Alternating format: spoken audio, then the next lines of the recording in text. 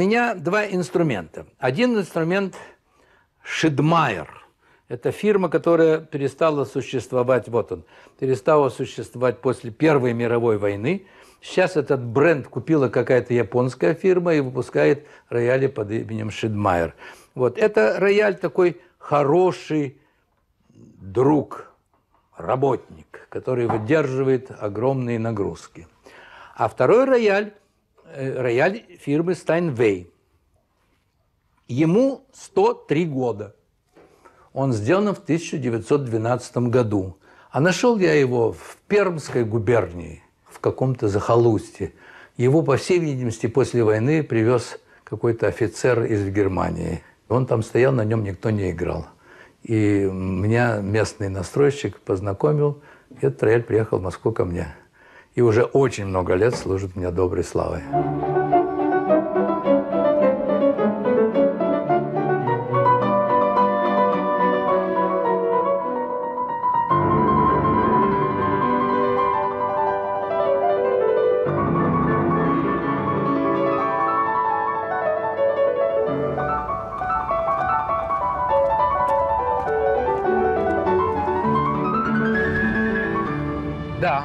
Люблю быстро играть на рояле и быстро ездить на машине. Любой быстрый темп должен быть артикулированный, член разделен. Вы должны слышать каждую ноту в отдельности. Вы знаете, когда-то, когда в старую эпоху железные дороги двигались не очень быстро, то около железного полотна были выложены такими белые камушки – когда поезд ускорялся, эти белые камушки превращались в одну линию, и вы уже не могли различить эти камушек. И вот когда-то мне мой профессор Лев Николаевич Аборин сказал, что вот ты должен играть так, чтобы эти камушки были все время видны по отдельности. То же самое, каждая нотка должна быть видна по отдельности. Тогда вы чувствуете вот эту скорость.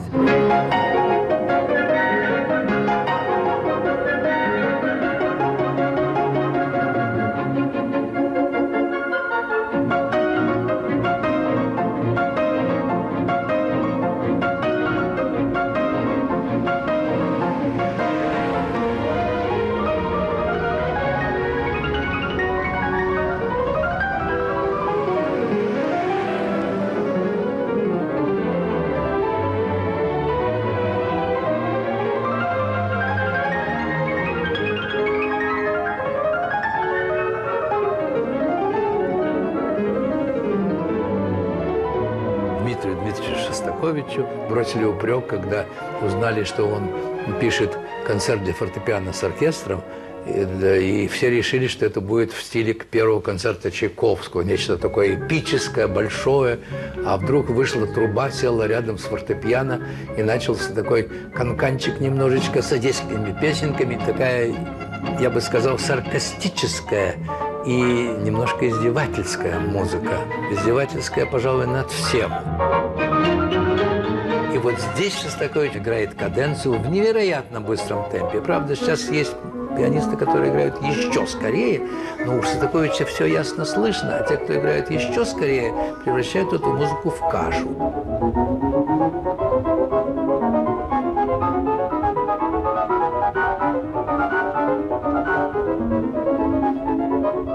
Очень близко знаком с Дмитрием Дмитриевичем Шостаковичем. И это моя судьба это мое счастье. И я помню первое исполнение десятой симфонии Шостаковича э, в Москве. Это было потрясающе. Это было необычайно сильно. Может быть, это в моей жизни было самое сильное впечатление, потому что я был еще юный и совершенно, так сказать, пустой в голове. И вот это восприятие этой музыки, она настолько меня потрясла своим трагизмом. И вот наступил 57 год. А тогда подходил по времени фестиваль современной музыки в Праге, «Пражская весна», на который планировалась большая советская делегация. Давид Федорович Ойстрых, Зара Долуханова, Евгений Александрович Мравинский и в том числе Эмилий Григорьевич Гиллиц. Но Гиллиц заболел. И мне предложили поехать в составе этих метров. И вдруг я узнал, что Дмитрий Дмитриевич пишет новый фортепианный концерт для своего сына Максима, который кончал Центральную музыкальную школу в тот год, а я уже был на третьем курсе консерватории. Я уже не помню, каким образом, но через каких-то знакомых и через знакомых знакомых Дмитрию Дмитриевичу сказали, что вот один молодой пианист хочет сыграть ваш концерт в Праге. И как ни странно, вот этот человек потрясающей доброты, он согласился. Он сказал, я только ставлю одно условие. Максим будет первым исполнителем. Ну, это совершенно справедливо. Вот, и Максим играл этот концерт 10 мая 1957 года в Москве. А я играл этот концерт 24 мая этого же года в Праге. Вот, причем Дмитрий Дмитриевич поехал на этот фестиваль и был на этом концерте. Был мой звездный час, потому что, во-первых, этот концерт очень молодой, очень свежий. Он не такой уж трудный. Я должен сказать, что я выучил его за неделю. Он все время говорил, он замечательный, это прекрасно, вы прекрасно играете. Ну вот здесь, пожалуйста, сказать, очень тщательно. Вот. Во время этого Пражского яра или Пражской весны было очень много всяких встреч. В частности, мы с ним вместе ходили на оперу Стравинского «Похождение повесы». И тогда Стравинский был запрещен в Советском Союзе, просто никто не знал, что это такое. Вот. И даже ничего, запрещалось его произведение смотреть. Тогда никто не играл тогда Петрушку, кстати говоря. Я со свойственным мне любопытством э, спросил Дмитрия Дмитриевича, ну, как вам эта музыка? Да, он сказал, очень понравился, очень понравился, очень понравился. Вот. Ну, он понимал, конечно, что Стравинский гений.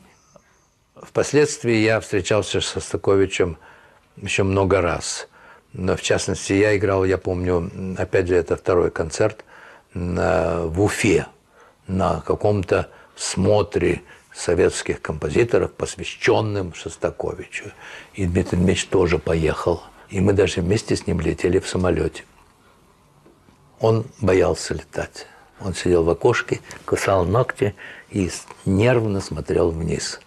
Тогда он только что женился на Ирине Антоне, это был 67 год, ну, ей было лет 35. Она сидела посредине Шостаковича, она и потом я. Она изучала правила уличного движения, готовилась э, водить машину. Вот, очень спокойно. А Дмитрий Дмитриевич боялся. Но ну, потом был очень хороший концерт, и он меня опять хвалил. А уже когда он совсем был больной, и у него была ломка костей, и я помню, что я вошел в большой зал консерватории, значит, между шестым и пятым рядом портера, и увидел сидящего Шостаковича на какой-то концерт. И вот вы представляете, вот молодой человек, и Дмитрий Дмитриевич больной встал, чтобы пожать мне руку. А было это спустя там, 8 лет после того, как мы с ним встретились на концерте в Уфе. Вот это вот показатель интеллигентности человека.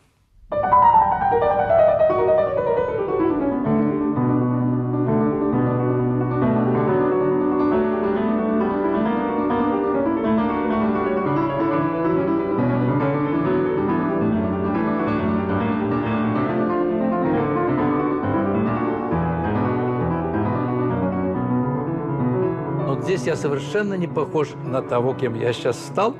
К сожалению, время и годы играют свою роль. Но в этом смысле мне сейчас, так сказать, немножко неудобно об этом говорить. Я сразу вспомнил знаменитую шутку про Россини, который был очень знаменит при жизни.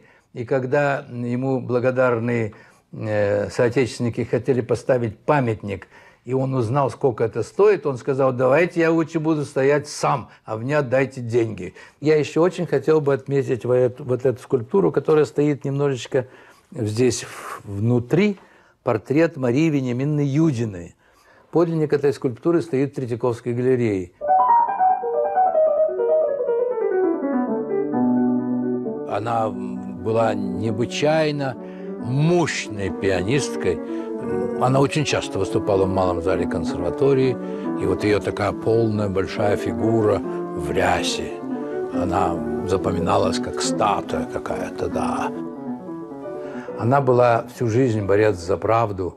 Вот я помню ее один концерт, она э, выступала вместе с Галей Писаренко, И Мария Вениаминовна Юдина вышла и с очень хорошей дикцией сказала, сегодня в иной мир ушла Анна Андреевна Ахматова. Поэтому мы споем романсы Прокофьева на слова Ахматовой. И весь зал как-то очень прочувствовался. Я помню, как э, в году 63-м, когда Хрущев э, устроил бойню с выставкой художников современного искусства и назвал их нехорошим словом. И после этого выступил, по-моему, один из членов правительства с осуждением этого искусства.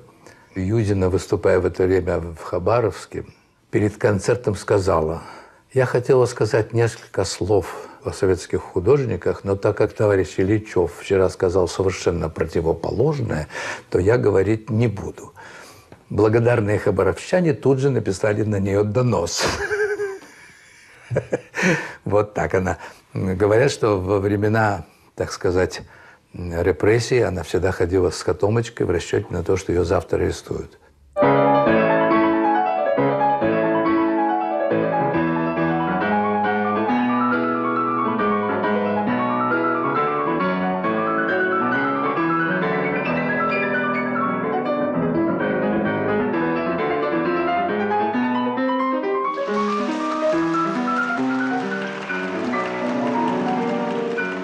жизнь развивалась. Но в 1963 году ко мне пришел молодой человек из организации, которая называлась Комитет государственной безопасности. И очень тактично и деликатно предложила мне сотрудничать. Я спросил, вы хотите, чтобы я стал шпионом? Они сказали, ну что вы, нет, нет, конечно, нет.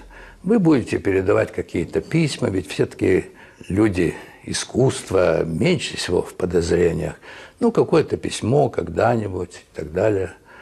Но я очень быстро сообразил, что это ведет меня к предательству моих собственных идеалов в жизни. Я не могу доносить на своих друзей, я не могу доносить даже на своих врагов. Поэтому я на это предложение ответил, я должен подумать. И на следующее утро я позвонил и сказал, что Понимаете, я человек эмоциональный, я человек искусства, я очень быстро возбуждаюсь и боюсь, что, исполняя ваше поручение, я могу по свойствам своего характера сделать какой-то неверный шаг. Поэтому я не могу принять ваше предложение. Как я и ожидал, все мои гастроли немедленно полетели в бездну. И 12 э, лет я никуда не ездил. Ну, так как я не был связан с тем, что я что-то сказал политически неверное, или на меня написали какой-то донос. Может быть, на меня и писали доносы, но я никогда ничего против советского государства не говорил. Я, так сказать, никогда. Поэтому, как ни странно, мне разрешили ездить в страны народной демократии. И вот эти 12 лет я в Польшу, в Болгарию и в другие страны э, посещал. Но Запад был закрыт. Причем самое печальное в том, что как раз незадолго до этой беседы я гастролировал в Японии первый раз в своей жизни. Я дал 16 концертов с огромным успехом, и меня пригласили в Штаты. Вот, и уже Госконцерт даже, так сказать, разрабатывал какой-то контракт вот. Ну, конечно, этот контракт полетел, сказали, что я болен или что-то в этом духе.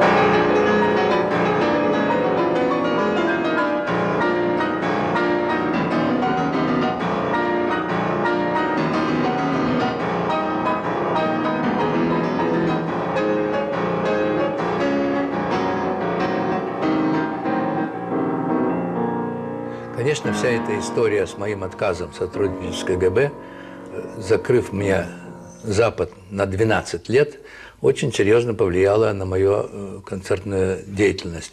Потому что когда я выехал э, впервые в 1975 году в Англию, я был совершенно неизвестным музыкантом, и члены жюри в э, конкурсе Литсе подозревали в том, что я не умею играть на рояле, а приехал, так сказать, по предложению Министерства культуры.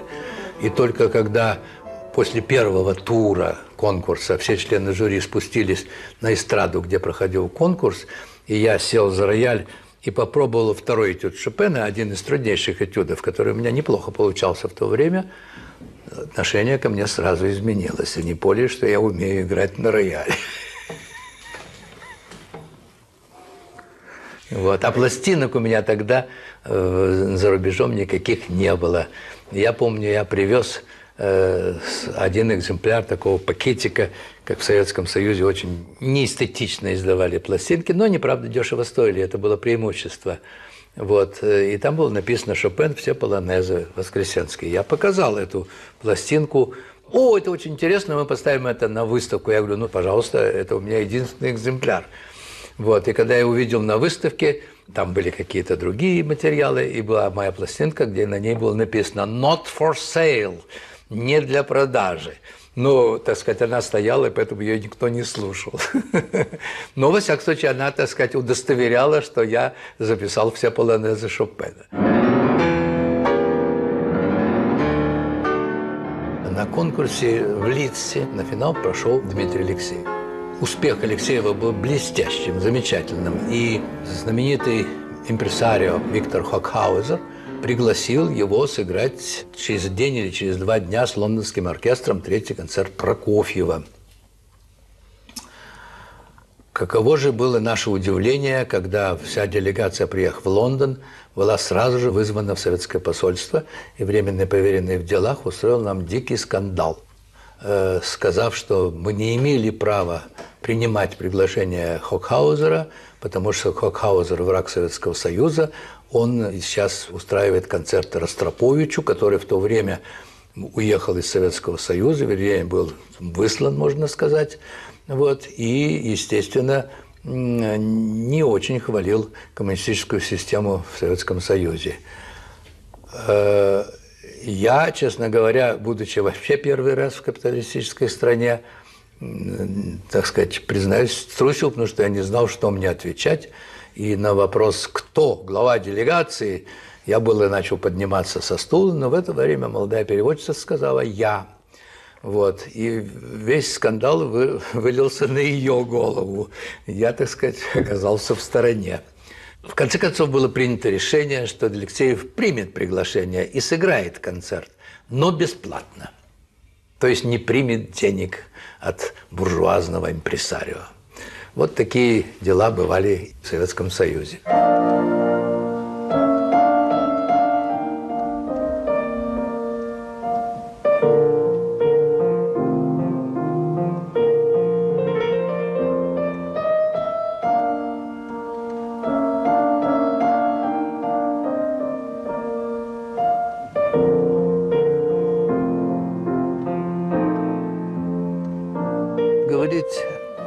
отъездах людей за границу мне очень трудно, потому что в тот момент, когда появилась вот эта возможность в основном евреям выехать из Советского Союза, и началась такая довольно большая кампания, очень многие мои друзья уехали, и я очень переживал за них, потому что совершенно неизвестно было, как сложится их жизнь дальше. Я вообще считал всю жизнь, что человек должен быть свободным и иметь право выбирать, где он хочет жить и где он, куда он хочет ездить. И эта свобода, которую нам даровала революция 91 года, до сих пор для меня является самым ценным приобретением того времени. У меня возникали некоторые мысли по поводу того, что моя бы карьера на Западе, как, например, в Вовушкиназе, могла бы сложиться гораздо успешнее, чем она сложилась в Советском Союзе. И я э, думал об этом, конечно, но у меня слишком много родных могил в России. Я их не покину. Поэтому я воспользовался этими годами для того, чтобы расширить свой репертуар – Потом я начал все больше концертировать. Я был в самых разнообразных точках, иногда в самых захолустных. Я очень любили музыку, и это очень большое счастье играть в каком-нибудь маленьком селении, где огромное количество меломанов.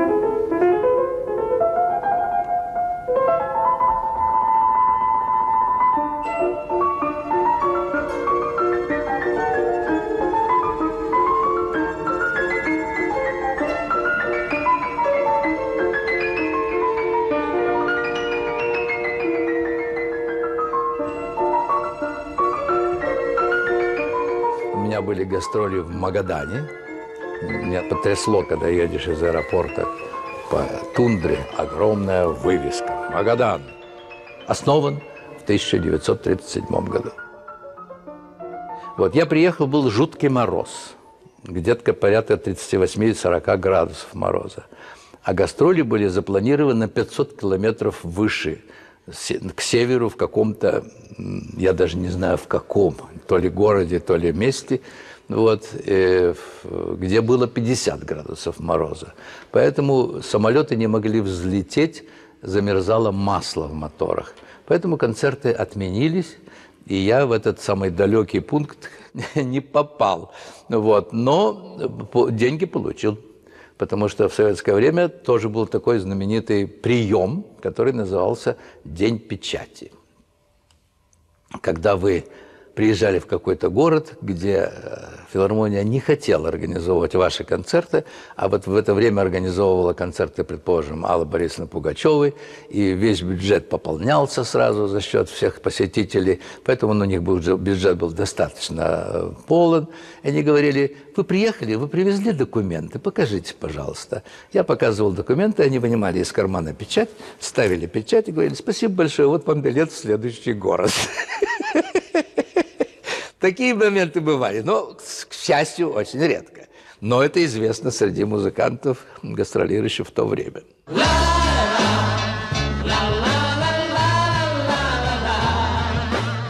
Когда я играл концерт в Воронеже, тогда в 70-х годах было очень модно устраивать танцы молодежи.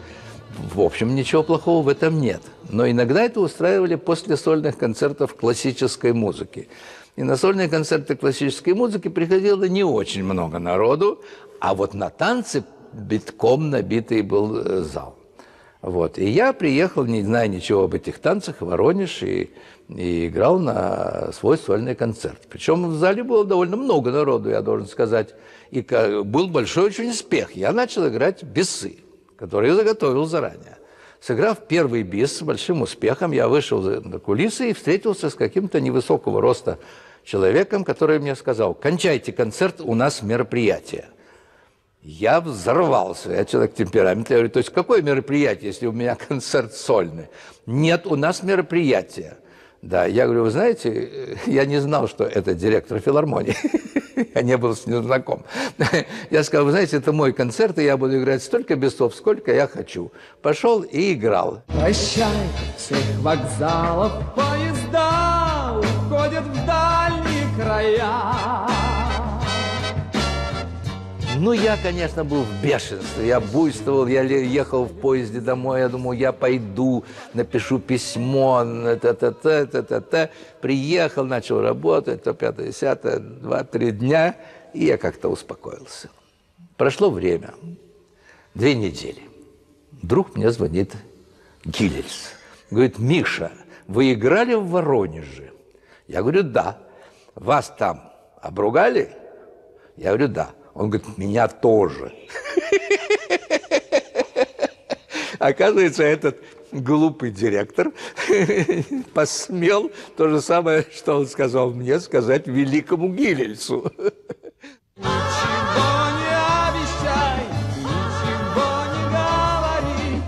Гиллис говорит, я после этого пошел посмотреть на это мероприятие.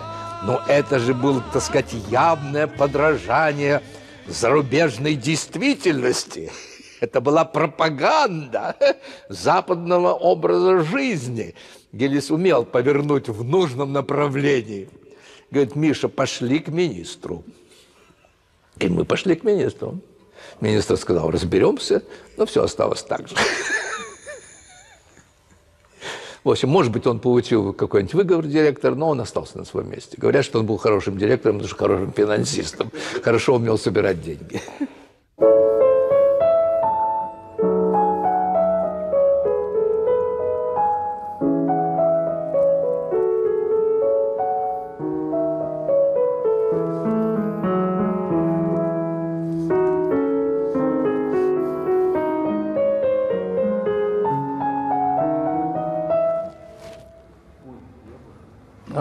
вы хотите снять, а я тогда поиграю, да.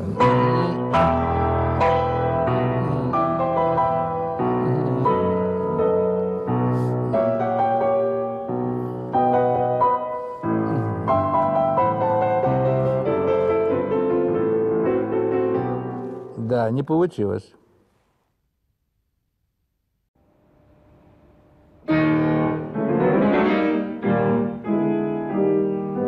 Спасибо. Ну, нельзя играть в разных темпах полонеза. Полонез – это шествие, это не танец. Тарабарабарабам, пампирам. Ну, что это за раздумье? Что это за думка в чешском стиле? Рам, тага-тага-тага-дам, пампирам, ляпа-дог-дог-дог-дог-дог-дог-дом, таларим, тарадара-дара-дам, тарадара-дара, one, two, three.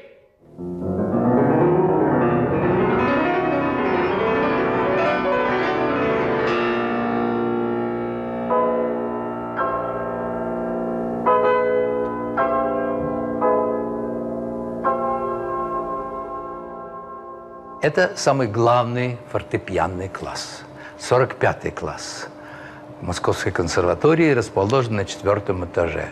В этом классе преподавал Константин Николаевич Игумнов 49 лет. Говорят, что когда-то тогда не было диванов, а стояла деревянная скамья, и когда ученики играли скучно, Игумнов ложился на нее и будто бы засыпал, но вовремя комментировал игру учеников.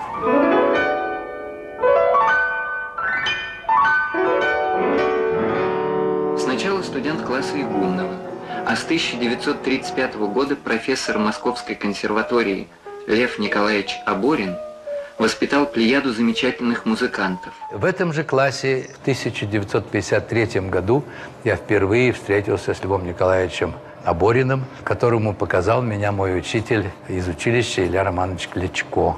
И вот я помню, за вторым роялем сидел Аборин и совершенно потрясающе показал четыре последних аккорда ми бемоль минорного музыкального момента Рахманинова. А сейчас я и педагоги вот моей кафедры, которую я, в общем, унаследовал через Аборина, Малинина и Власенко. Я сейчас занимаюсь, и в нем занимаются мои коллеги, многие педагоги и профессора Московской консерватории.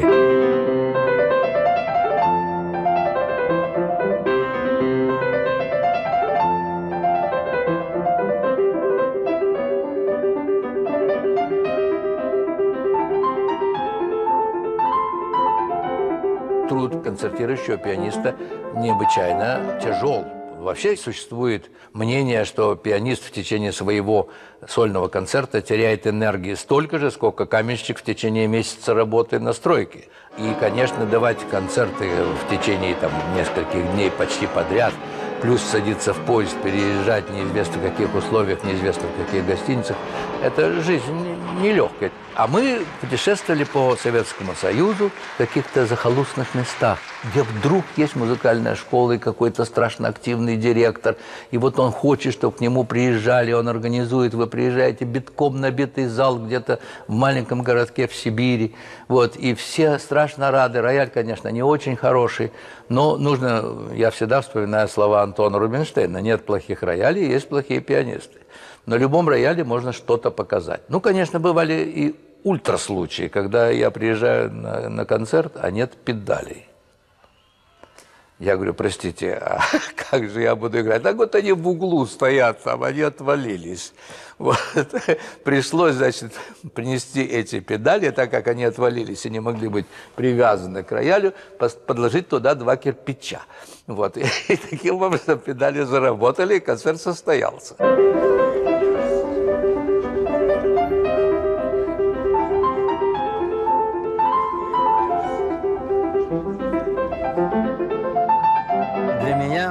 Двор Московской консерватории – это, конечно, дом. Но в то же время это место, где происходили наиболее сильные впечатления в моей жизни. Я помню первый концерт, на котором я был в Большом зале консерватории, и это было, когда мне было 13 лет, я первый раз приехал в Москву. Вот я сидел в этом шестом ряду э, Большого зала, в первом театра, и мы с мамой слушали э, концерт Нины Львовны Дорляк вместе с Святославом Рихтером.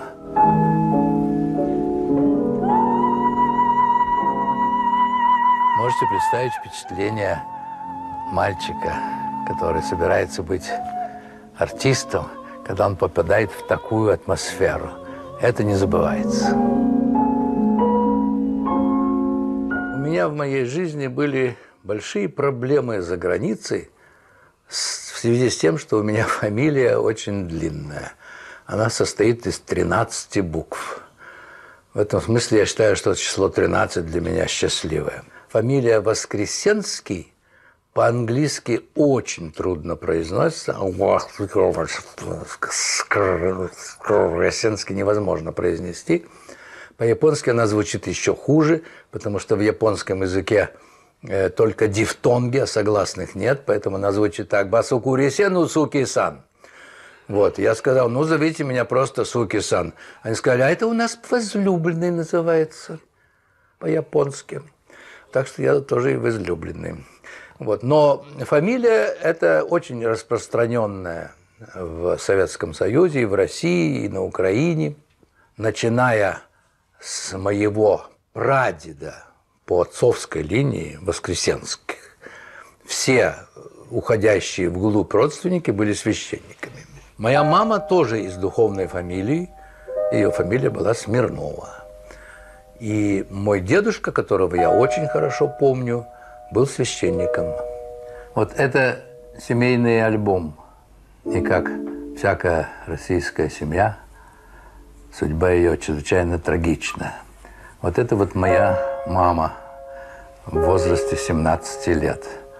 А вот это моя бабушка Варвара Владимировна Смирнова, жена священника Вячеслава Григорьевича. Вот он перед вами в более преклонном возрасте.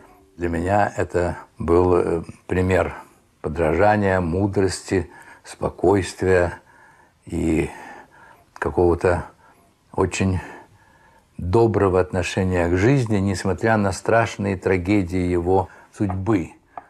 И вот здесь, на этой фотографии, почти вся его семья. У моего деда было четыре сына и две дочери. Старшая дочь была моей матерью. И вот все четыре сына, можно сказать, были съедены революцией, потому что два первых сына, 20-летние молодые люди, были белыми офицерами и погибли во время гражданской войны. Причем один из них страшно погиб, потому что когда большевики пришли в Севастополь, они приказали всех офицеров собраться в каком-то храме, заперли двери и подожгли. И он заживо сгорел. Вот поэтому третий сын моего деда взял свои пожитки и сказал «до свидания» и уехал в Америку. Причем договорились, что не будут никаких контактов, чтобы не, каким-то образом не повредить семье, оставшейся здесь. Я об этом узнал только очень поздно, уже когда было поздно даже на, пытаться на, наладить какие-то контакты, потому что в семье это было табу, и никто никогда об этом не разговаривал. А четвертый сын погиб от туберкулеза тоже очень рано.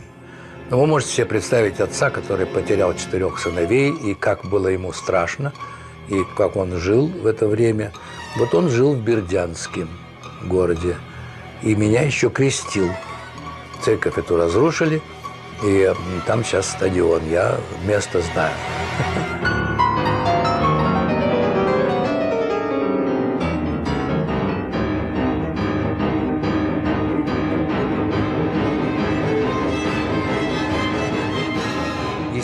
Естественно, что во времена гонений и репрессий 30-х годов мой дедушка принял решение не служить, хотя это тогда еще разрешалось, Вот он вроде как вышел на пенсию для того, чтобы спасти свою семью. А я родился в Бердянске, потому что моя мама ехала из Москвы, окончив третий курс училища в Севастополь, но решила по дороге задержаться в Бердянске, потому что, по всей видимости, уже подходило время. И через три месяца после того, как я родился, мы благополучно переехали в город Севастополь. Ну, симпатичный молодой человек был.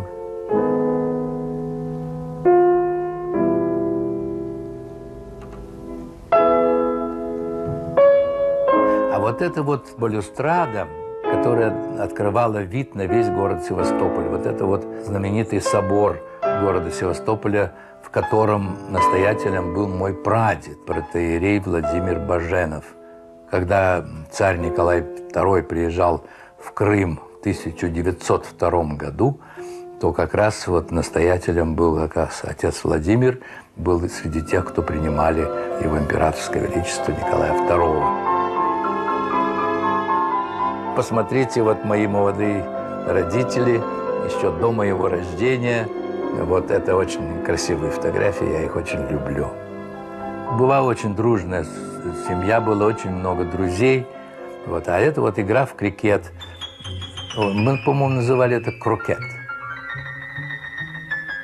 А вот это вот маскарад.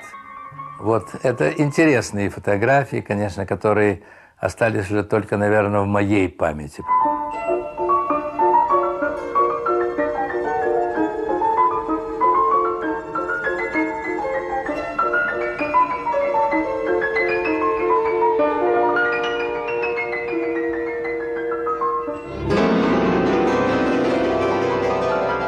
Но наступила война, и немцы пытались заминировать залив и спускали торпеды на парашютах в этот залив. Одна из торпед взорвалась на Приморском бульваре, и это было 2 часа ночи 22 июня 1941 года. Еще война не началась, она началась через 2 часа только. Конечно, это был ужасный взрыв, даже я, говорят, проснулся, хотя бы мне было не так уж много лет. И моя семья решила, что нам нужно срочно уезжать. И решили уезжать в Бердянск с дедушкой, с бабушкой. Отец мой был биохимик. Он был старшим научным сотрудником Института физических методов лечения имени Сеченова. Он оставался э, там работать, потом он ушел в армию и погиб на фронте в 43 году под Мелитополем. Мой сын не так давно разыскал братскую могилу моего отца. И он привез мне даже фотографию этого могильного камня, на котором была высечена фамилия моего отца. Мы, э, значит, остались в Бердянске, пережили оккупацию, что тоже было не сахар. А когда немцы уходили через два года после оккупации, у них была тогда тактика выж... выжженной земли.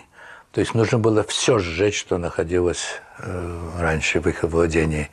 Мы с мамой скрывались э, в задних дворах, там были такие кусты, там вообще было очень страшно. И вот здесь нас спас мой дедушка.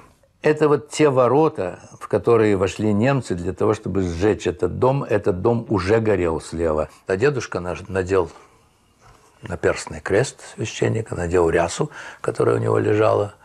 Вот, вышел и сказал, что вот у него маленькие дети здесь, внуки, никого больше нет. Взрослых предполагают, что они должны уйти с немцами.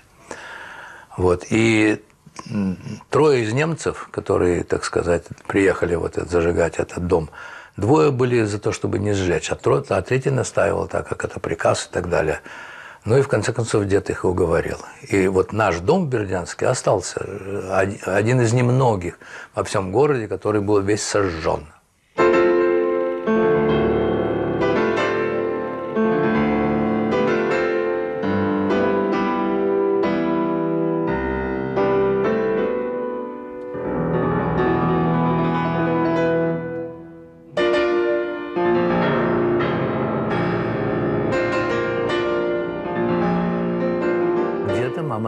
Пианино.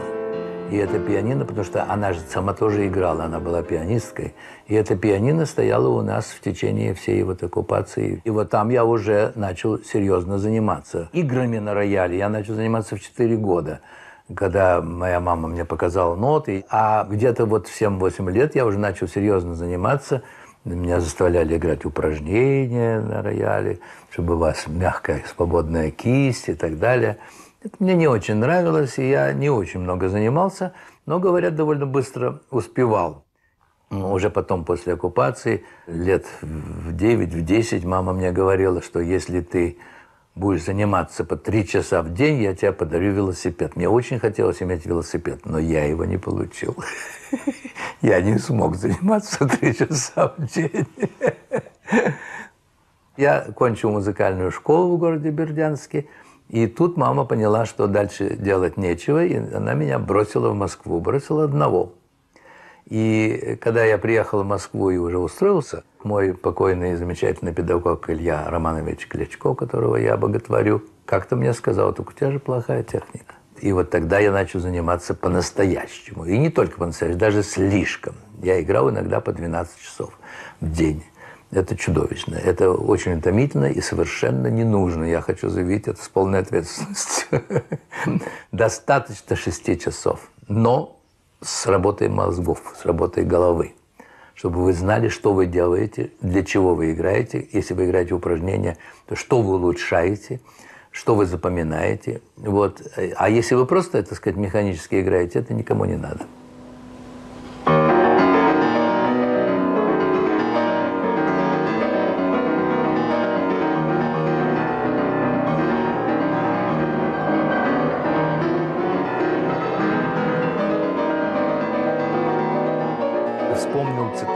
Которая была сказана Стравинским Артуру Рубинштейну. Стравинский сказал, вот вы, исполнители, становитесь миллионерами, исполняя музыку голодающих Шуберта и Моцарта, безумного Шумана, чахоточного Шопена и глухого Бетховена. На что Артур Бенштейн сказал, да, мы отчасти вампиры, питающиеся кровью этих великих композиторов.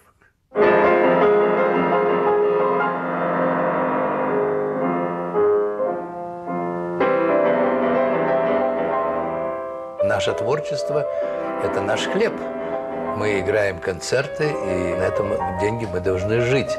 Но я должен сказать, что не это главное. Просто моя жизнь заключается в том, что я не могу не играть на рояле. Я не могу без публики. Вот проходит лето, когда я, предположим, не гастролирую, и осенью я испытываю какой-то голод сцены, если можно так выразиться. Мне хочется на сцену.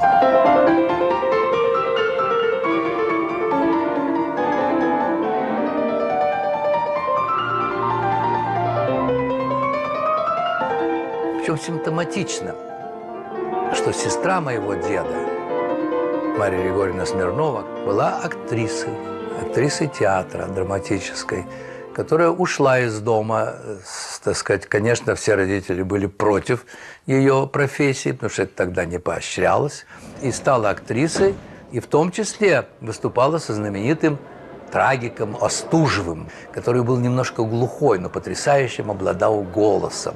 Когда-то она с ним играла Отелло Шекспира.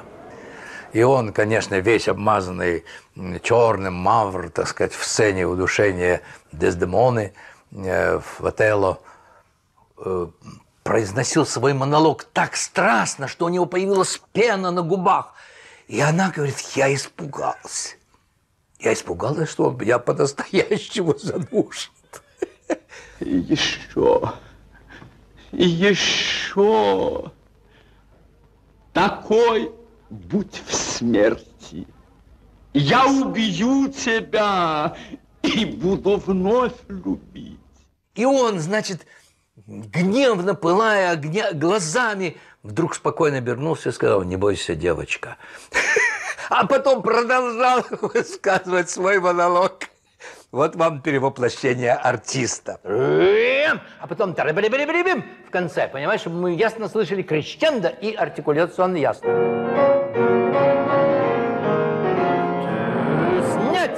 Вот.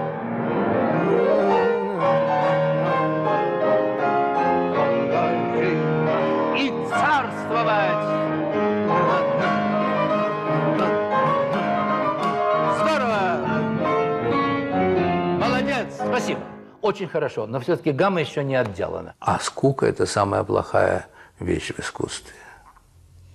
Вот, я помню, я слушал репетицию Артура Рубинштейна, Яша Хейфиц и Григорий Пятигорский. Все американцы. Экс. Нет, наоборот, американцы в настоящем. И вот, вот они играют, играют очень увлекательно, очень здорово. В это время Рубинштейн, Рубинштейн бросает игрывать и говорит на чистейшем русском языке. Это же скучно, господа! Это было в эпоху Советского Союза. Для нас слово «господа» уже было новым словом. Вот. А то, что он сказал это на очень хорошем русском языке, этих трех американцев, меня вообще потрясло. Самое главное, что они замечательно играли. Но ему показалось, что это скучно. Господа, это все скучно звучит. Ничего не важно. Ничего не значит. Look here, if we have to argue, let's argue in English. Pardon, monsieur.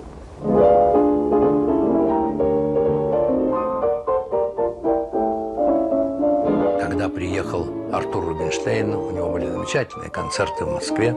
И я помню эту стройную, строгую фигуру, подтянутую, бодро идущую по огромной сцене большого зала консерватории.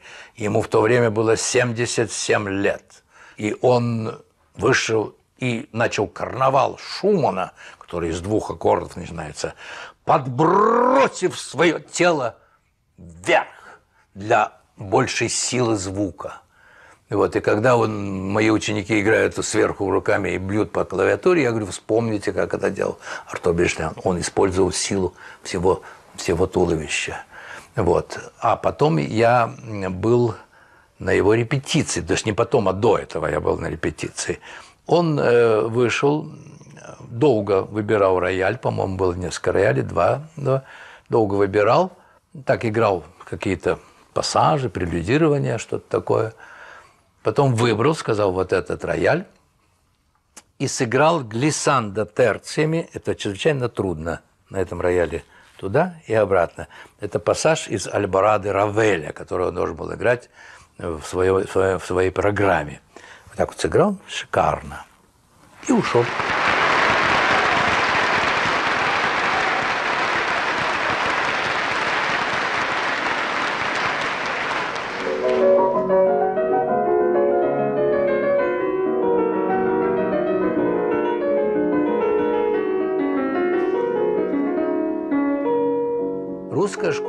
Конечно, огромная река. И, конечно, американская фортепианная школа – это, в общем, та же русская школа. Потому что до приезда туда и Рахманинова, и Розины Бетти Левиной, и самого Иосифа Левина, и Иосифа Хоффмана, ученика Антона Рубинштейна, и всех других американская школа практически не существовала. С другой стороны, в России и в Петербурге, и в Москве были какие-то свои отличия. Но петербургская школа дала нам Шостаковича, Сафроницкого, Юдину. Это люди, учившиеся в Петербурге. Учились они у Леонида Владимировича Николаева, замечательного педагога, который, между прочим, все концерты аккомпанировал своим ученикам на память. Сейчас, так сказать, не все педагоги даже по нотам играют прилично – Московская школа – это, конечно, было два больших течения Гальденвейзера и Игумнова. Гальденвейзер сам был хорошим пианистом, хорошим музыкантом, но он не был хорошим композитором, хотя сочинял музыку. Но ему жутко не везло с его музыкой. Он долго старался, чтобы поставили его оперу по Пушкину «Пир во время чумы». И в конце концов решили поставить эту оперу и назначили премьеру на 9 мая 1945 года. Но естественно, что когда был День Победы, то опера не состоялась с таким названием. Вот. Так что Александр Борисович как-то так как композитор не остался в истории, но он остался как великий педагог. Конечно, школа Александра Борисовича она была немножечко более сухой, более, так сказать, профессионально отточенной, э, более формообразующей. Школа Игумнова больше тяготела к Чайковскому, к звукоизвлечению. И всегда говорили, что ученики Игумнова, у них безумно красиво поет рояль. И это надо послушать самого Игумнова. Когда-то мне японская фирма поручила записать времена года Чайковского. Я переслушал все исполнения, какие можно было достать. Лучше всех играет Игумнов. Лучше всех. Они немножко пикировали с Александром Борисовичем Гальденвейзером. Были такие, э, ну, немножечко так, естественно, какая-то, может быть, ревность внутренняя. У того и у другого были хорошие ученики. Но в то время это было совершенно интересно, что когда появился настоящий талант, все снимали шляпу. Вот, и никаких противоборств не было. Сейчас, когда появляется талантливый ученик у какого-то педагога, другие профессоры говорят, ну, можем, но он совсем не стоит ничего. Про Игумнова я хочу рассказать одну историю. Игумнов включил радио и говорит кому-то, представляете, сегодня включил радио, и кто-то плохо играет Баркарова Рахманинова. Я, конечно, подумал, что это Александр Борисович Гальденвейзер. Но представляете мое удивление, когда сказали, что это я. Вот вам человек, который совершенно спокойно рассказывает про свои неудачи. По-моему, это прекрасно.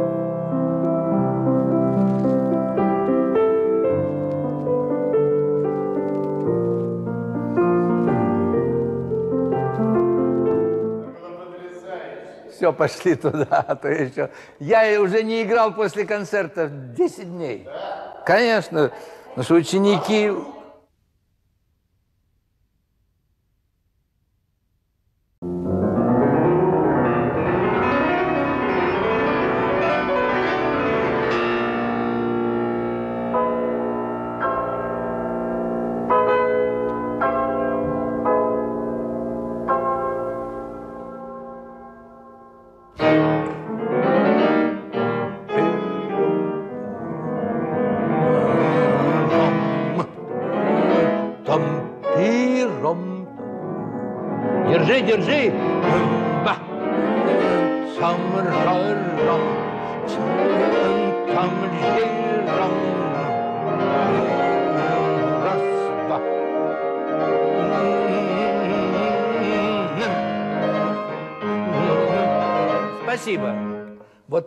я хочу сказать, вернее, повторить это, я много раз говорил. Этот полонез – это выражение польского духа. Польска не сгинет. Это известное выражение по-польски «Польша не исчезнет». Вот. Это националистическое сочинение, а должно быть призывным, оно должно выражать силу духа Польши. Фа, мими, тарафтара-дарадам, тарадара-дара-дара-дара-дам, драм-драм-драм-драм.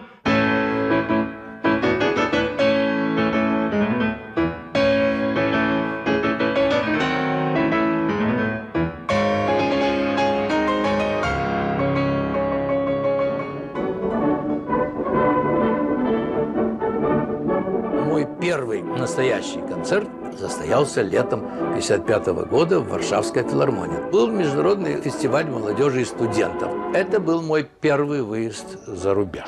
Меня избрали членом концертной делегации на этот фестиваль. Вот. Ну, я начал готовить какие-то сольные выступления, там, состоящие из мелких пьес, и вдруг оказалось, что едет еще молодежная группа оркестра Большого театра – с Евгением Федоровичем Светлановым. мне предложили сыграть второй концерт Шопена, который я, кстати, готовил на конкурс Шопена. Я еще очень благодарен этому Варшавскому фестивалю, что он меня научил серьезно относиться к иностранным языкам. Когда я встретился с какой-то делегацией, оказалось, что это делегация не то из Ирландии, не то из, э, из Шотландии. Я кинулся к ним и с большой радостью сказал «Hello, how do you do?» После этого они стали очень быстро говорить на каком-то мне непонятном языке. Откуда я понял, что я ничего не знаю. После этого я очень серьезно нанялся английским языком. И, конечно, сейчас я уже могу понять, что они говорят. Вот. А мое выступление в Варшаве было очень приятным, хотя были очень тяжелые условия, потому что советская делегация состояла, по-моему, из 400 человек. Нас поселили далеко от центра, в 14 километрах от столицы. Мы там ездили на автобусах, соответственно. И я почти не занимался перед концертом. Потом мой педагог сказал, а настоящий пианист должен уметь и не занимаясь играть хорошо.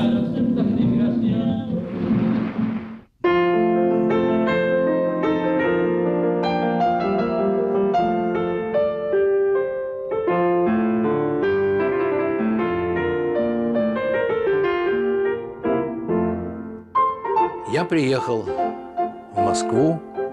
Это был 48 год 20 века. Очень такое, я бы сказал, голодное время, тяжелое время. Приютила меня у себя Мария Григорьевна Смирнова, родная сестра моего дедушки и тетя моей мамы. А жила она в коммунальной квартире на Третьей Мещанской. Так как спать было негде, то вынимались чемоданы – и расстилалась постель на этих чемоданах. Ну, после года такого существования все поняли, что это дальше невозможно.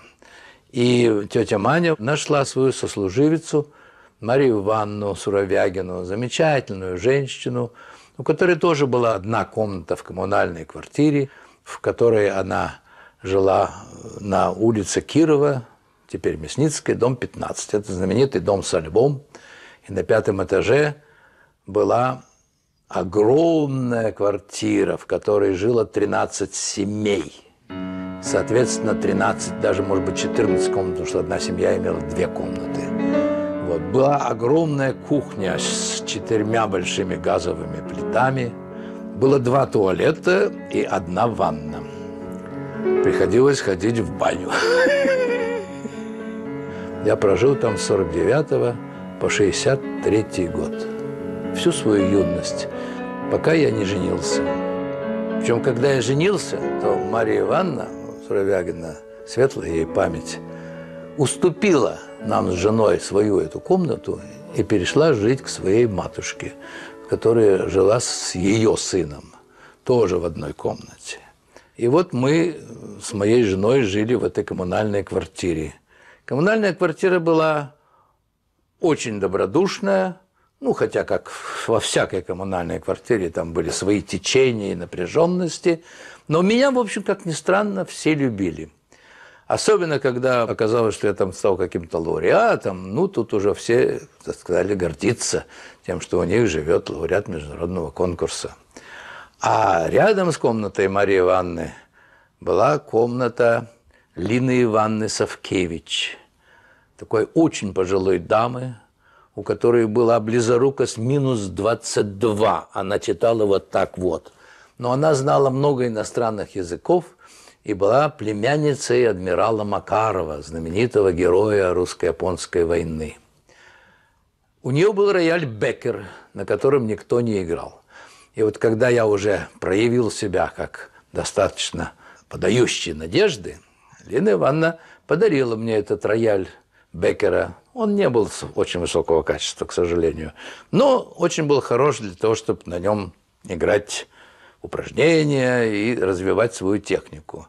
И этот рояль переехал в нашу 13-метровую комнату. Как он там поместился, я не знаю. Но, во всяком случае, потом мы с моей женой там жили, и у нас родилась дочка, и все помещались. Ничего страшного.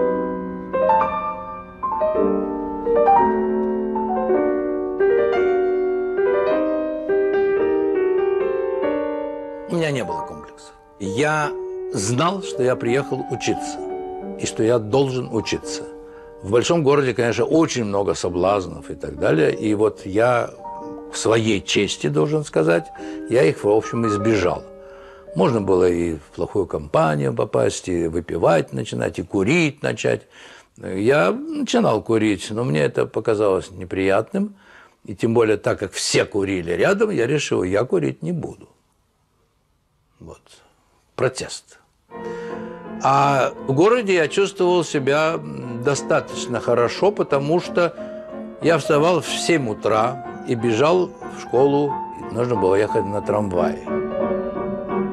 Потом я ехал к своей родной тете. У нее была квартира с роялем, и она мне позволила у них заниматься.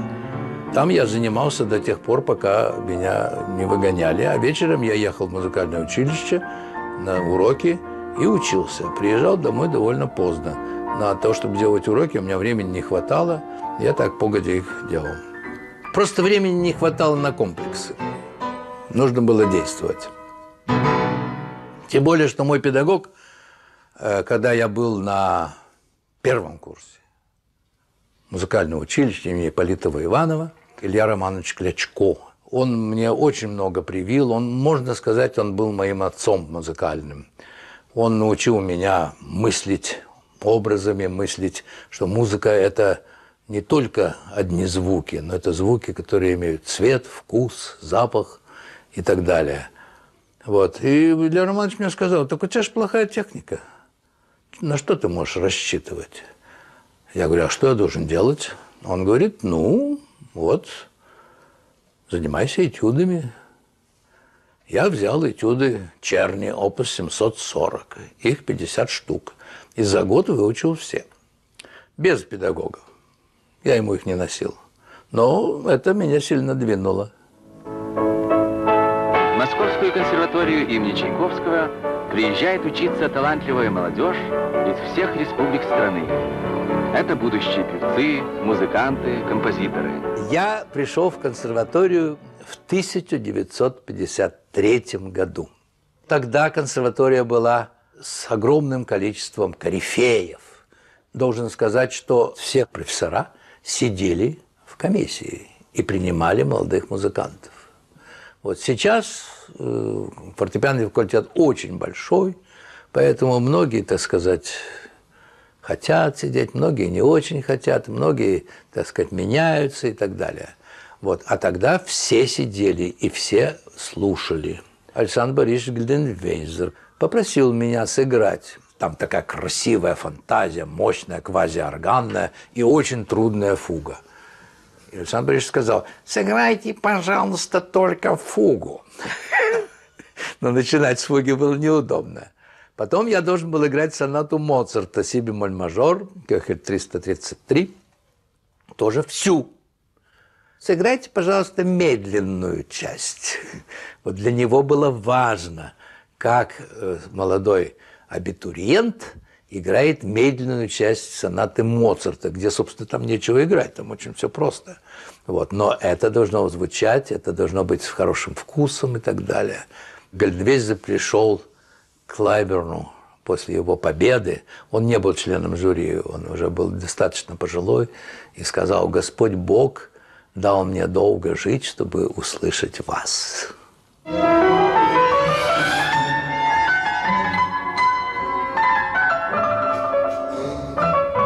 Конкурс имени Бена Клайберна был создан в Техасе, в городе Форт Уорте, в том, в котором родился Вен Клайберн, общественностью города. Вен Клайберн к нему не имел особого отношения. Он, так сказать, был только иконой.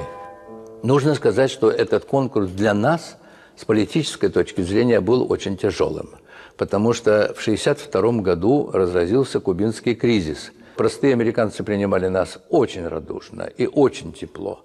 Но мы чувствовали все время какую-то настороженность со стороны официальных лиц. Естественно, конечно, тогда мы не могли высказывать ни своего мнения по этому вопросу, а наше мнение должно было соответствовать газете «Правда». Вот, и я помню, когда меня спросили об этом, я вынужден был сказать, что я, конечно, поддерживаю решение советского правительства – на что потом в прессе появилось заглавие «Откровенный пианист». Тогда нас вызывала Екатерина Алексеевна Фурцева, нам говорили, привезите первую премию и так далее.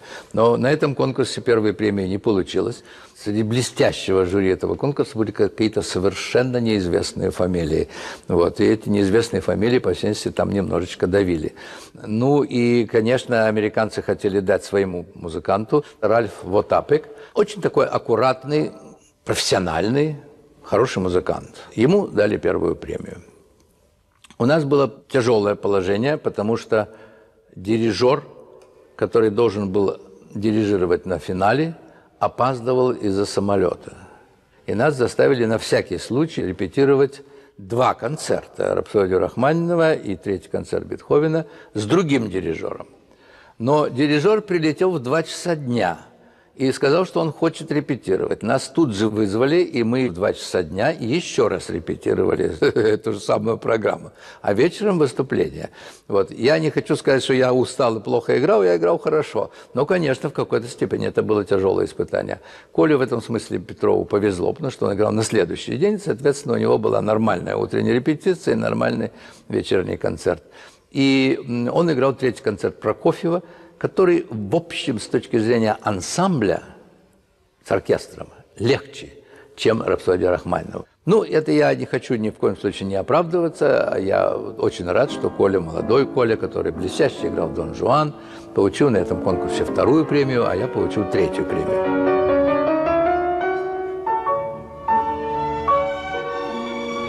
Я жил в замечательной семье сэра Уилсона.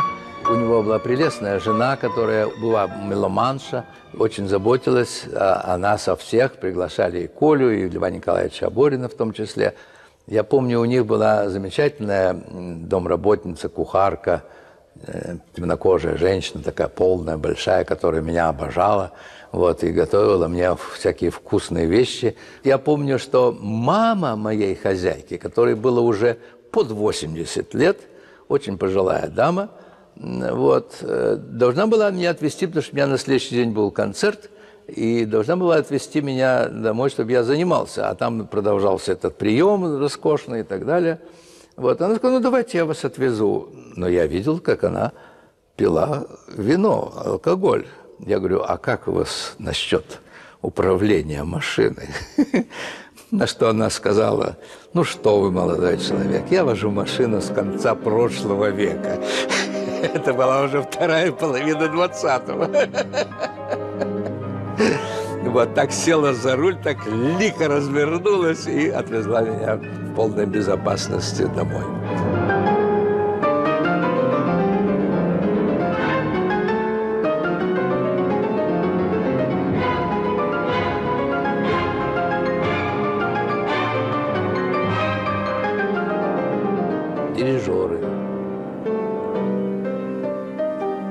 Мне, конечно, очень повезло.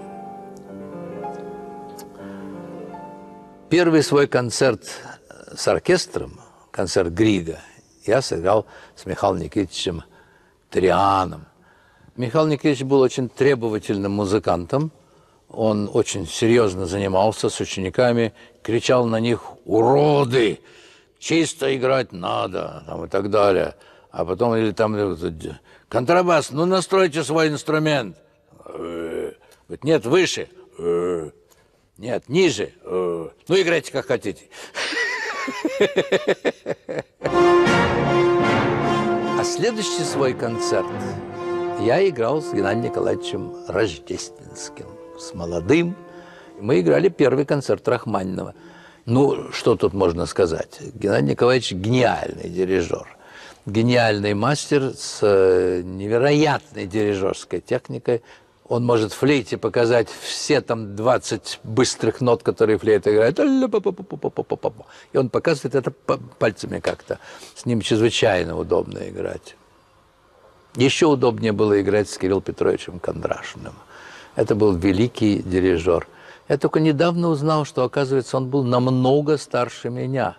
Он 14 -го года рождения – он старше Рихтера и Гиллиса. Вот. А в 50-х, 60-х годах и в 70-х годах я с ним играл. Вот. Это был маэстро молодой, талантливый, энергичный. Я помню, как мы играли рапсодию на тему Паганини Рахманинова на Рижском взморье во время лета и очень жарко было и так далее, и мы репетировали очень тщательно.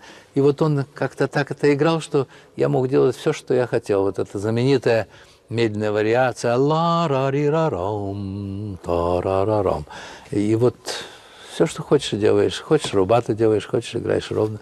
Он за тобой идет.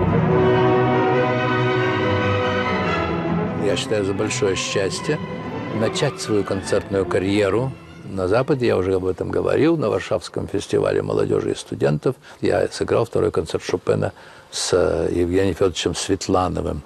И впоследствии я играл с э, Светлановым и третий концерт Бетховена, и первый концерт Рахманинова. Во всяком встрече со Светлановым – это очень такой золотой фонд моей жизни.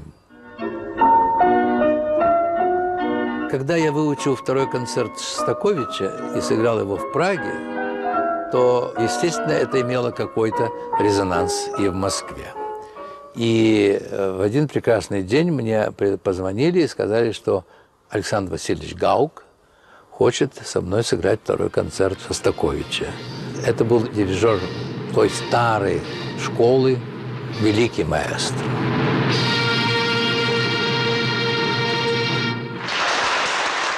Причем я помню, я жутко волновался на репетиции почему-то. И даже как-то что-то начал путаться. Он на меня так выразительно посмотрел, Александр Васильевич, что я сразу все вспомнил. Вот. И это был очень успешный концерт. И, по-моему, я ему понравился, потому что уже через несколько лет он меня пригласил сыграть с ним в Баку третий концерт Бетховена. Ему оставалось жить недолго, и у него была большая раковая опухоль на лице. И он очень плохо себя чувствовал. Но, несмотря на это, он отменил даже свои э, сольные выступления дирижерские, но третий концерт Бетховена мы с ним сыграли. Это был один из последних концертов в его жизни. С Константином Константиновичем Ивановым я тоже играл несколько раз. Константин Константинович Иванов очень долгое время был главным дирижером государственного оркестра. Он сам воспитал в себе абсолютный слух. Он очень тщательно занимался. Вот, предположим, сегодня он посвящает весь день ноте «до» или там до мажору. Потом в следующий день он посвящает соль мажору, а потом он это сравнивает и пытается узнать, где до мажор, где соль мажор. Он всегда вызывал исполнителя к себе домой. Я садился за фортепиано, его жена садилась за второй рояль, и он дирижировал во время исполнения, причем, так сказать, даже делал указания. Здесь кларнет не то сыграл. Я кларнета нет. Ну, он, так сказать, предполагал, что это он может сказать.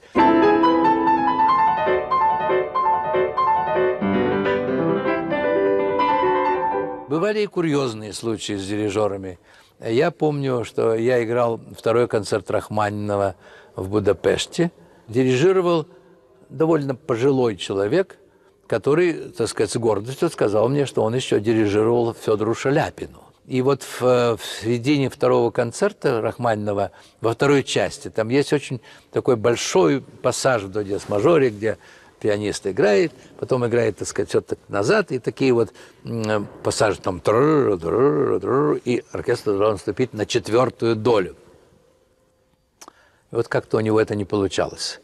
Он никак не мог ощутить, как, когда же ему надо вступить. На репетиции мы повторяли это раз 15, наверное. Я уже делал специальные акценты, все, так далее, все. Ну, в конце концов, получилось. Он сказал, вот видите, вечером будет. Вот. Вечером я играю этот пассаж, иду вниз, играю, не вступает. Пум! После концерта он говорит, вот видите, как хорошо получилось.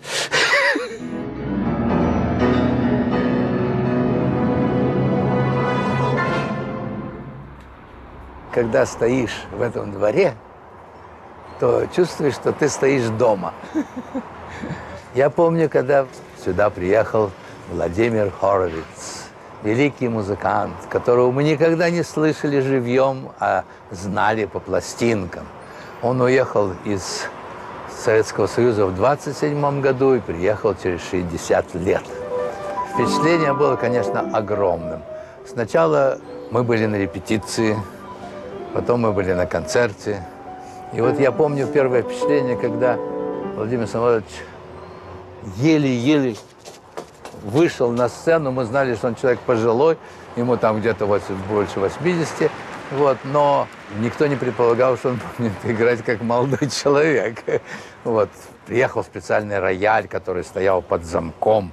и позволено было отпирать этот замок только его личному настройщику. Я помню, Артамонов, наш великий настройщик, тоже помогал в этом смысле. И вот первое впечатление – чудо. Вот он начал сонату Скарлятти медленную, и вот чудо звука. Никто так не звучал, как звучал Горовиц. И весь концерт был каким-то необычно новым для нас. Потом я послушал этот же концерт на телевидении. Ничего подобного. То же самое, что мы ждали раньше. Вот это различие концерта в жизни, концерта живого и концерта в механической записи, оно огромно. И поэтому я призываю, ходите на концерты.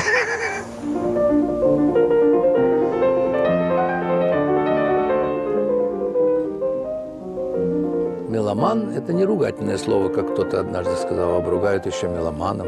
Вот. Меломан – это любитель музыки, потому что музыка – это искусство, которое требует сопереживания, когда вы ее слушаете. И вы не можете есть суп и одновременно слушать музыку. И если ваш слух достаточно натренирован, вы начинаете следить за развитием драмы движения и получаете огромное наслаждение, которое очищает вашу душу, очищает вас от всех скорбных вещей, которые существуют в мире. Очень многие люди, которые не посвящены в классическую музыку, в чем-то бедны. Профессионалы слушают музыку несколько иначе, потому что они ее очень хорошо знают, иногда даже играя ее лично, имея собственную трактовку, они сразу начинают эту собственную трактовку сравнивать с трактовкой исполнителя. Естественно, собственная трактовка нравится больше, поэтому они начинают критиковать. Я принадлежу к тем людям, которые страшно интересуются именно другими трактовками, чем моими. Ну, свои я уже сделал, я их знаю. А мне страшно интересно, вот как другой читает эту же самую музыку.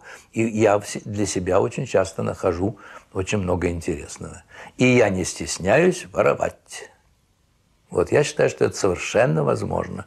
Вот если мне понравилась какая-то интонация у Эмиля Гиллиса или у Сафроницкого – и она подходит под тот, так сказать, сценарий, который я себе представляю в произведении, я спокойно этим пользуюсь.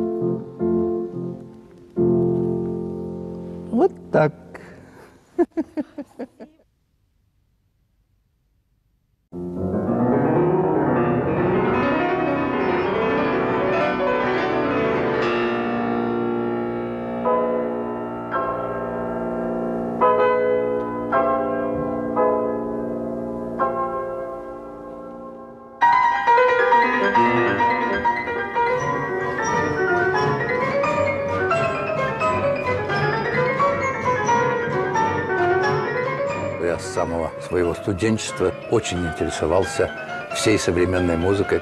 В 1967 году я выучил концерт Бриттена. Бенджамин Бриттен – замечательный английский композитор, э, друг Рихтера и э, Ростроповича. А у них есть замечательная запись соната Арпеджоне, где Бриттен играет прекрасно на фортепиано. Написал в 1939 году концерт для променад концертов в Альберт-Холле в Лондоне.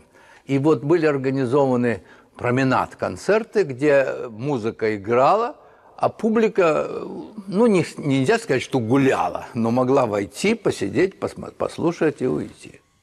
Но тогда было очень трудно достать партитуру. В смысле, ее надо было выписывать за валюту. И это никто мне бы не разрешил. И здесь я должен признаться в совершении преступления. Единственного преступления, которое я совершил в своей жизни. Я выучил этот концерт и объявил его в Будапеште. А в Будапеште была договоренность. Они взяли и выписали из Лондона эту партитуру. Вот. Приехав на репетицию, я попросил репети... эту партитуру познакомиться и сфотографировал. Конечно, это очень трудно сфотографировать целую партитуру огромную, большим количеством страниц. Не могу сказать, что копии получились очень ясными. И приехав в Советский Союз, я, значит, договорился сначала в Риге, что я буду играть этот концерт. У меня вышел компакт-диск недавно, именно с этим исполнением. Это была премьера э, в Советском Союзе, и, как сейчас помню, это было 1 февраля 1967 года. И я играл в Рижской филармонии с радиооркестром, с дирижером Эдгаром Тонсом.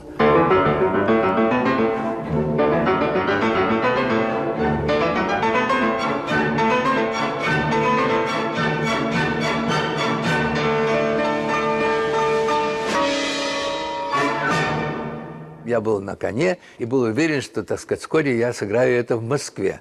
Но приехав в Москву, через две недели я вдруг увидел афишу. Рихтер играет этот концерт. А Бриттон ему просто подарил эту партитуру. Никакой валюты было не нужно. История продолжается дальше. Это фантастика. Я приезжаю уже в Ригу, в другую страну. Пришли э, какие-то господа из э, радио и говорят, вы знаете, у нас есть запись вы играете концерт Бриттона. Я говорю, не может быть, я же помню это исполнение, и это было уже 40 лет назад, или там, я не знаю, 35 лет назад. Этот концерт выпущен в компакт-диске. Одновременно с концертом Шнитке для фортепиано и струнных. Дело в том, что Альфред Гаревич был моим соучеником. Мы вместе учились Московской консерватории на первом курсе в 1953 году и вместе ходили на лекции по марксизму, ленинизму. Вот, и, так сказать, я тогда даже не мог вообразить, что этот приятный молодой человек станет гениальным и великим композитором 20 века. Но время шло, 60-е годы, и Шнитке начал писать очень интересную музыку. Многие знают, что тогда, так сказать, это воспринималось очень негативно со стороны официальных музыкальных, так сказать, властей. Эта война была тяжелой для бедных молодых композиторов. И вот эта знаменитая тройка Соня Губайдульна, Эдисон Денисов и Альфред Шнитке подвергались, так сказать, большим-большим критическим атакам – их сочинения запрещались, не игрались и так далее. Шло время, и Альфред Гаревич написал фортепианный концерт, первым исполнителем которого был Володя Крайнев.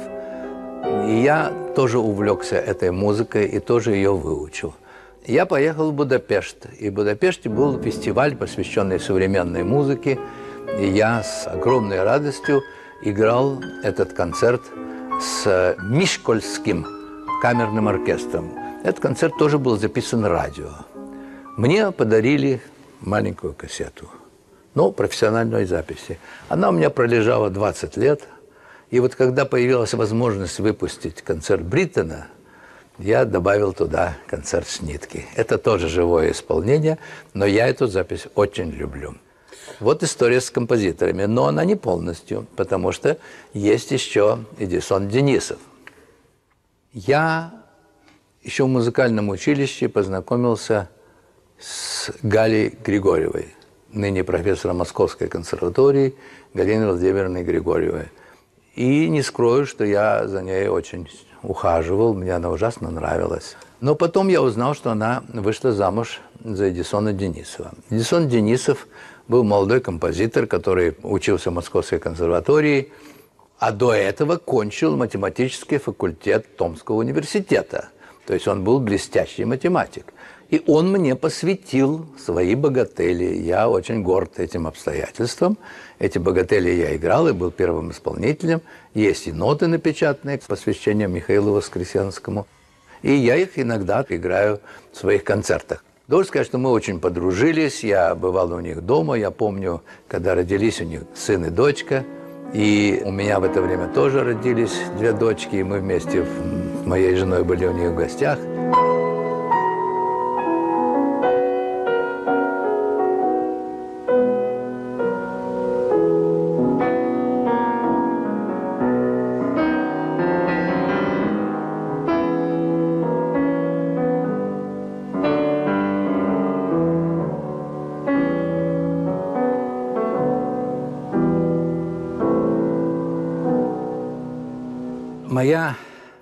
Семья очень тесно была связана с семьей дочери Александра Николаевича Скрябина, великого русского композитора, Елены Александровны Сафраницкой, первой супруги Владимира Владимировича Сафраницкого.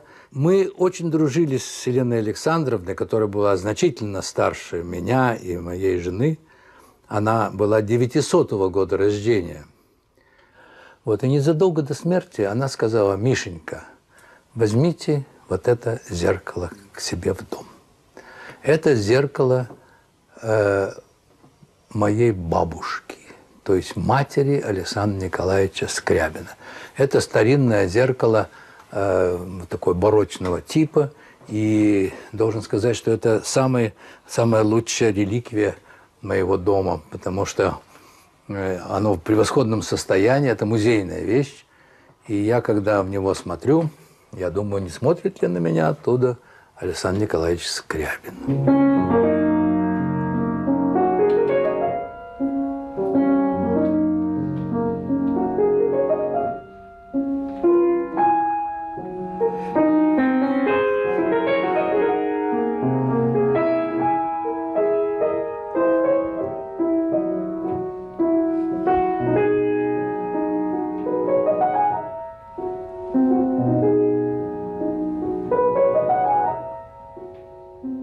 Я сейчас сижу за роялем, клавиши которого касались руки великого русского композитора Александра Николаевича Скрябина. Это вот благороднейшая идея идеалиста, идеалиста, музыканта, желающего изменить мир при помощи искусства, при помощи музыки. Я преклоняюсь перед идеями Скрябина –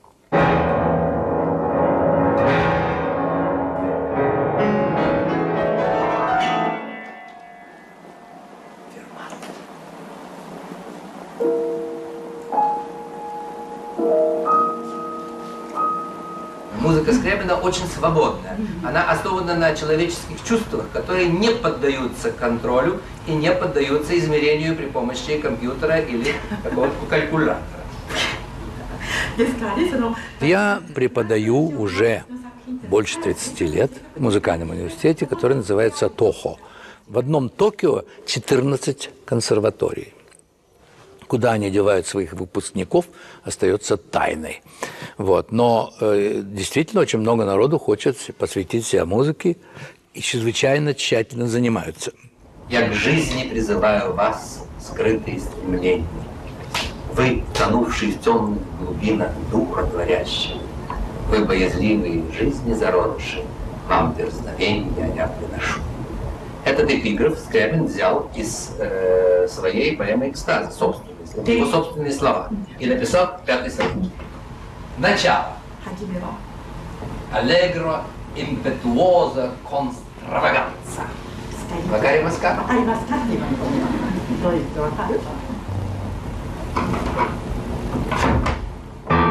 Наверное, больше. С педалью. Педалью,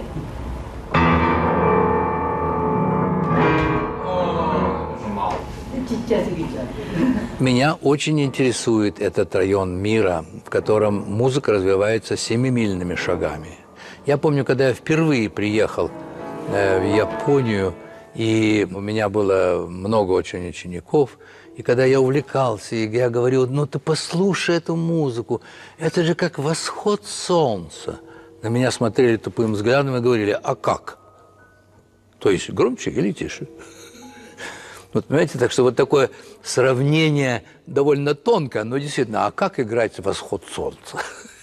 Это очень трудно объяснить. А вот как ассоциация внутри, для русского человека это понятно, а для японца совершенно непонятно.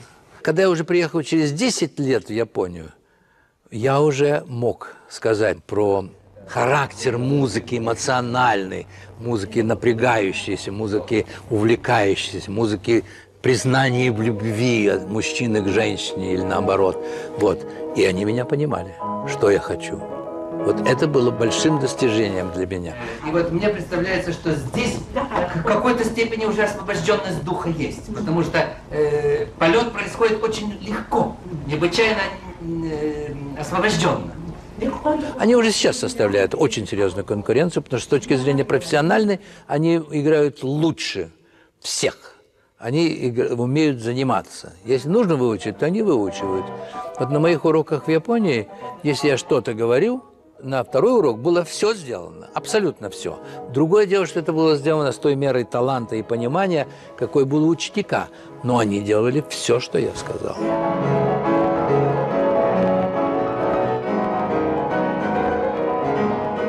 Меня всегда были очень хорошие переводчики. Мацуока-сан была такая полная дама, прекрасно владела русским языком. Вот, к сожалению, она была не музыкантом. Но и когда я говорил там, предположим, фа мажор или что там, аллегро состенуто, она кидалась в словарь и начинала судорожно смотреть эти слова, и, так сказать, урок останавливался. Но я ее останавливал и говорил, что адажио состенуто – это по-японски так, и говорю, как это по-японски. Империоза происходит от слова император. Империоза, вот это император, император, империй. То есть повелитель, повелитель. という言葉が出てます。要するに支配者とか支配するものとかね。 Па-па-пара. А тебе не хватает сил. あなたのは力が足りなかった、支配者じゃなかったそれは。 Все подданные дрожат. そ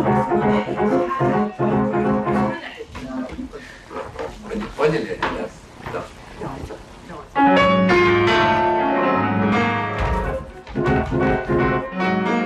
Однажды я говорил о том, что нужно играть какой-то ноктюрн очень нежно, и вдруг э, слышу перевод «ясаши», то есть «легко». Я говорю, вы неправильно сказали, я не говорил, что это легко. Я говорю, что нужно играть нежно. На что мне переводчица сказала, а по-японски то, и другое одинаково. Я был посрамлен. Вот. Но должен сказать, что это играет очень большую роль, потому что всегда нужно отметить, что такое нежно, что такое легко. Это разные вещи. Из- Извините, я забыл. Киохей, здравствуй. Се- сегодня в консерватории в 16.30. И кла- класс не знаю, класс не знаю. А, а я тебе что, историю партии коммунистической преподаю, что ли? Что я тебе преподаю? Специальность. Вакари МСК. А? Анатова. Рапсодия Рахманинов. Хиккимас. Сайонара. Хай. Педагогика очень тонкая вещь. Вы много требуете, а ученик иногда делает это больше, чем нужно. То есть немножечко преувеличивает и получается искусственно. Вам приходится на следующем уроке все это дело, да, так сказать, спустить на тормоза. Он говорит, а вы же мне только что говорили другое. Вот в том-то и дело, что тогда говорил другое, а сейчас говорю совсем иное. Вот в этом, так сказать, и прелесть искусства.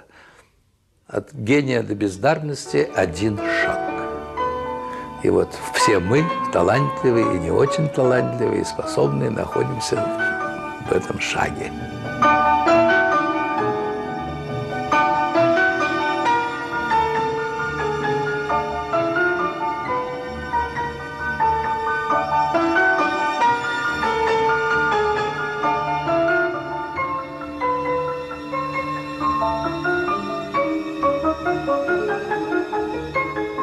Я жутко нервничаю, когда я выхожу на эстраду, но когда я знаю, что я готов, я пытаюсь, э, ну, конечно, нельзя никогда сказать с полной уверенностью, что вы готовы. Неизвестно, что произойдет на эстраде. Это совершенно terra incognita.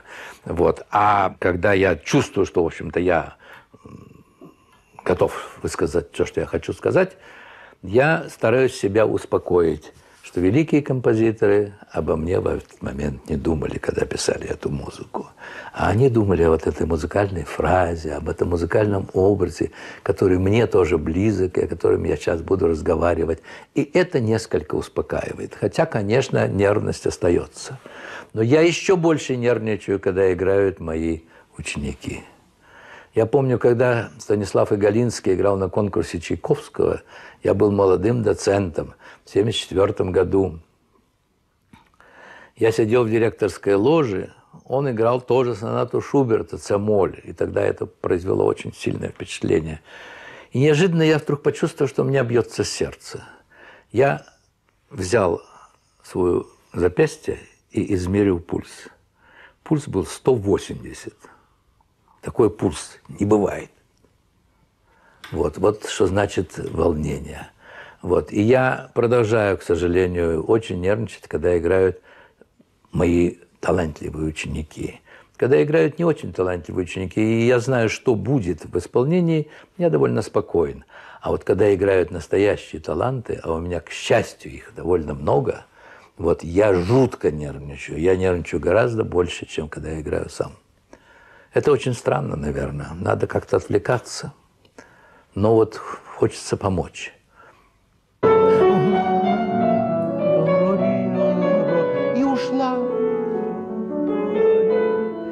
Дойти до соль диазот. А сейчас еще больше. И это кульминация. Царира.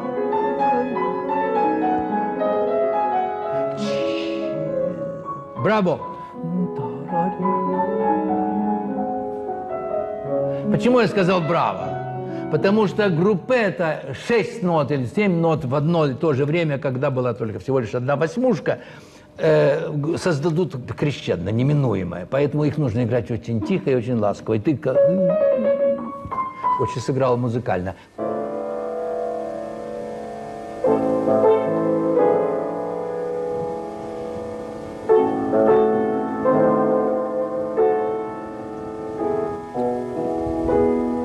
Какая благодать! Да.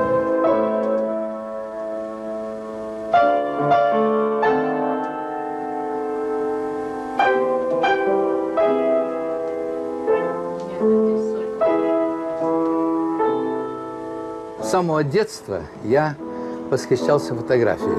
Но когда появилось видео, я, конечно, одним из первых приобрел видеокамеру. Они тогда были очень большие, довольно тяжелые. И увлекательно начал заниматься этим делом. Я снимал не только пейзажи, я снимал крупные планы лиц.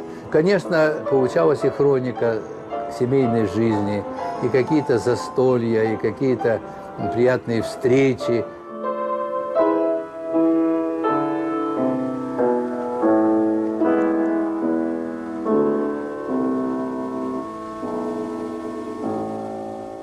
История моей семьи тоже не без трагедий.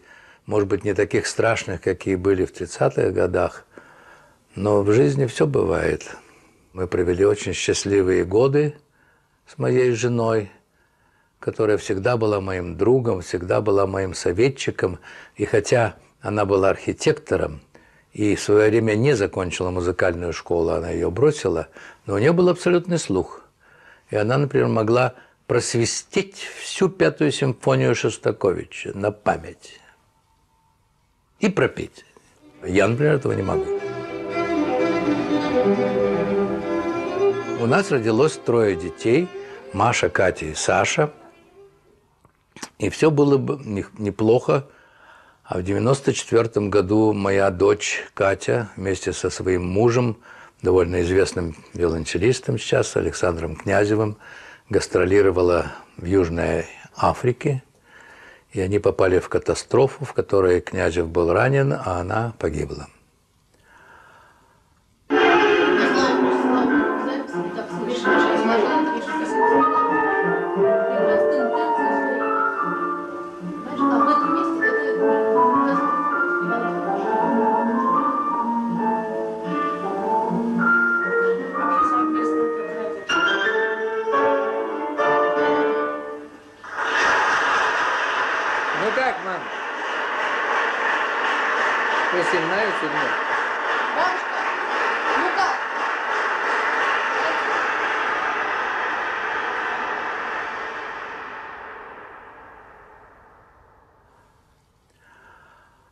Конечно, эта трагедия очень сильно отразилась на всей моей жизни.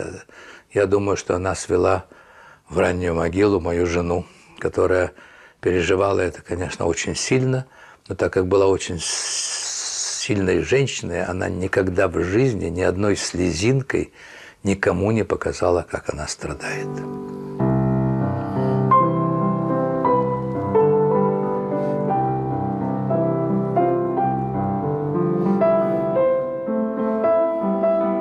Вообще, мне кажется, что настоящая музыка рождается все-таки в не очень счастливых биографиях. Франц Шуберт писал, что даже солнце не светит, тепло. Он был очень пессимистически настроенным. И несмотря на это, его музыка светла, правда печальна иногда трагична, но очень просветленная, дает, дает очень много нам, потомкам очень много э, чувств, которые можно, которыми можно наслаждаться, которые помогают жить.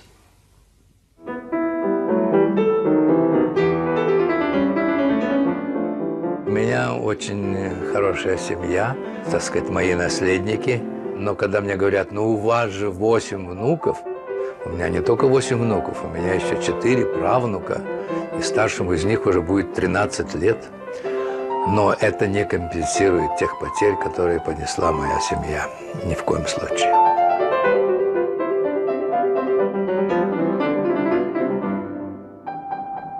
Я веселый человек. Я, в общем, оптимист. знаете, что Чайковский был оптимистом? Почему-то все считают, что он написал грустную музыку и был пессимист. И написал симфонию о своей смерти. Ничего подобного. Шестая симфония не написана о собственной смерти. Он об этом сказал своей племяннице после исполнения шестой симфонии. Он сказал финал о смерти, но не о моей смерти. Я еще полон сил, ему было всего 53 года. И я собираюсь создать еще много других хороших сочинений. Вот, несмотря на то, что мне не 53 года, а значительно больше, я все-таки продолжаю быть оптимистом. Я очень люблю жизнь. Я очень люблю природу, все, что окружает меня. Вот люди, э, семья. Но, конечно, самое главное в моей жизни стала музыка четыре года я сел за фортепиано, и меня мама моя показала ноты и сказала, играй, что хочешь.